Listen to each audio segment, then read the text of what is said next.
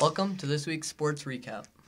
Tuesday, February 15th, JV girls played Houghton Lake. We won 77 to 26. Varsity girls played Houghton Lake and won 64 to 14. Emma Skierbeck had 23 points. Addison Naderhood had 9. Annalise Verdeen had 8 and Callie Hooker had 8 on the night. February Thursday, 7th, the 17th, JV girls played at Lake City. We won 38 to 31. Varsity girls played Lake City 49 to 33. Emma Skierbeck had 15 points. Annalise Ferdine had 14, Taylor Bentham 6. February, Wednesday, 23rd, the JV girls played Cadillac home. Cadillac won 44 to 27. And that was the last game of the season. The JV girls had a 19 and 1 record and they fought hard but couldn't get it done. Varsity girls also played Cadillac, but they won 52 to 48. Emma Skierbeck had 20. Annalise Ferdine had nine points. Kelly Hooker had eight, and the varsity girls record was 17 and three. They had a great season, and now we are going on to playoffs.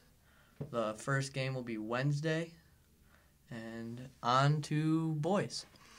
Tuesday, February 15th, JV boys played at Glen Lake. We lost 58 to 63 in overtime. Varsity boys played at Glen Lake, won 59 to 41. Joe Winkle had 14, Evan Haverkamp 13, Calvin McGillis 8.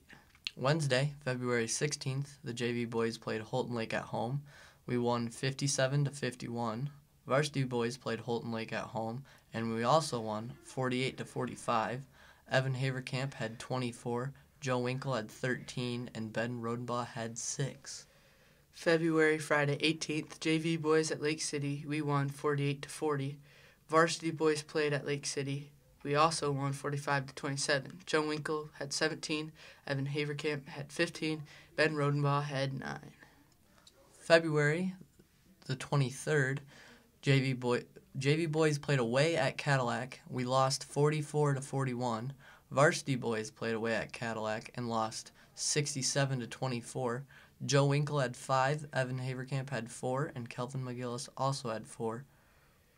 And that's a wrap. See you guys next week.